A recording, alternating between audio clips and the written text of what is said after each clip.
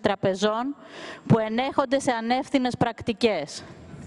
Η Τρόικα έχει ζητήσει από την Ελλάδα οι δαπάνες για την υγεία να μην υπερβαίνουν το 6% του ΑΕΠ.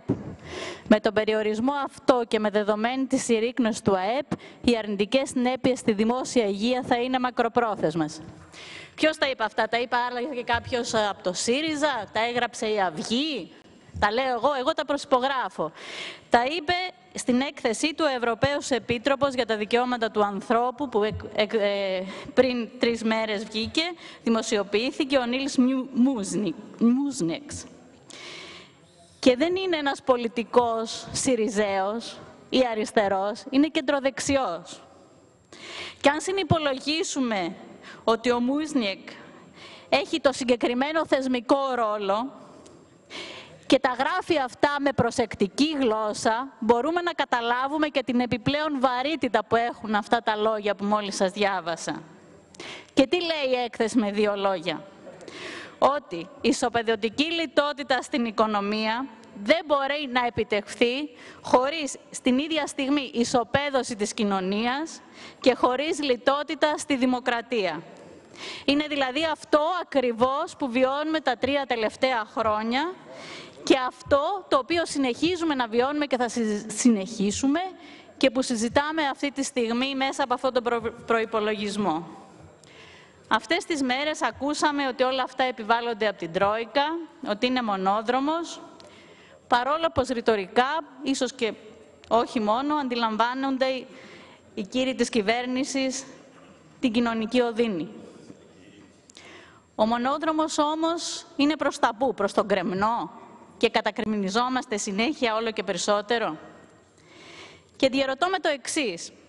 Αν η Τρόικα τα επιβάλλει όλα αυτά, τότε ποιος είναι ο ρόλος της Βουλής και της ελληνικής κυβέρνησης; Το πρόβλημα είναι ότι η κυβέρνηση έχει αναλάβει εργολαβικά το έργο, χωρίς όμως να είναι ο εργολάβος. Και το πρόβλημα είναι ότι οι οφειλέτες αυτή τη στιγμή συμπεριφέρονται ως πορτ παρόλ των δανειστών. Τι είναι η ελληνική κυβέρνηση, ο μεσολαβητής της Τρόικας στη δημοσιονομική πειθαρχία, ενώ στα υπόλοιπα πράγματα που η Τρόικα αδιαφορεί, είναι παλαιά σκοπής, δεξιός συντηρητισμός.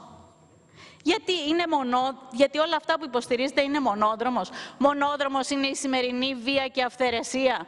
Αυτή τη στιγμή έχουμε 27 προσαγωγές ανηλίκων παιδιών, έχουμε 10 συλλήψεις, έχουμε δύο κακοποιήσεις και έχουμε και έναν Γερμανό τουρίστα, ο οποίος δεν ξέρει γιατί βρέθηκε εκεί που βρέθηκε και ότι έχει συλληφθεί.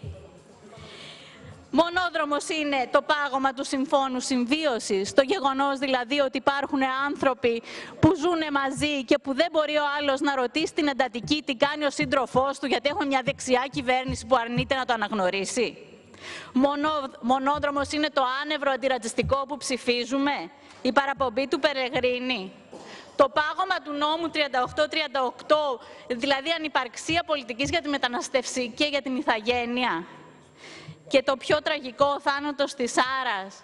Δηλαδή ενός κοριτσιού που γεννήθηκε και πέθανε στην Ελλάδα χωρίς να αποκτήσει ποτέ ηθαγένεια. Και την πρώτη πράξη της ελληνικής κυβέρνησης προς τη μάνα του, που 13 χρόνια ήταν ενταγμένη στην ελληνική κοινωνία, είναι η απέλαση. Γιατί έχει χάσει τα ένσημά της λόγω της κρίσης και έχει χάσει την νομοποίησή της και είναι λαθρομετανάστρια. Αυτό μονόδρομας είναι που μας τα επιβάλλει η Τρόικα. Μονόδρομος είναι το κλείσιμο της ΕΡΤ, η πράξη νομοθετικού περιεχομένου, η επιτάξη των εργαζομένων, η μόνιμη απουσία του, του Πρωθυπουργού από τη Βουλή, η ταύτιση των συμβορέων της κυβέρνησης με μια εταιρεία ιδιωτικών συμφερόντων και η ποινικοποίηση ολόκληρου του αγώνα των κατοίκων στις κουριές. Μονόδρομος είναι ο ξένιος Δίας κατά των μεταναστών. Οι επιχειρήσεις θέτης κατά των ανέργων, των αστέγων και των οροθετικών. Όλα αυτά είναι μονόδρομοι, κύριε και κυρίες. Η ισοπεδωτική λιτότητα, λοιπόν, στην... ισοπεδωτική λιτότητα στην οικονομία, στην κοινωνία και στη δημοκρατία.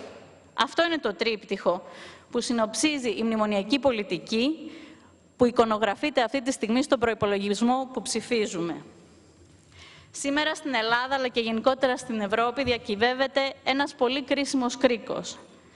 Αυτός ο κρίκος συνδέει το λόγο της νομιμοποίησης της, κυβερνη... της ε, κρατικής εξουσίας με το, λόγο της νομο... με το λόγο της κοινωνικής δικαιοσύνης και το λόγο της δημοκρατίας. Αυτόν ακριβώ το, ακριβώς τον κρίκο υπερασπιζόμαστε και στα μικρά και στα μεγάλα. Και όταν πρόκειται για την ΕΡΤ και στο πάγωμα των πληστηριασμών και στο σύμφωνο συμβίωσης και στους ανασφάλιστους συμπολίτες μας, τα κέντρα κράτησης, την απεργία των διοικητικών υπαλλήλων, την ανάσχεση της νεοναζιστικής εφόδου. Είναι ένας αγώνας ενιαίος που συνδέει για μας το βιωτικό επίπεδο των ανθρώπων που ζουν σε αυτόν τον τόπο, την υπεράσπιση της ελπίδας και της προοπτικής, μαζί με τον αγώνα ενάντια στον νεοναζισμό, με την υπεράσπιση της δημοκρατίας και της κοινωνίας. Μια κοινωνία που ονειρευόμαστε τελικά να χωράνε όλοι και όλες. Ευχαριστώ.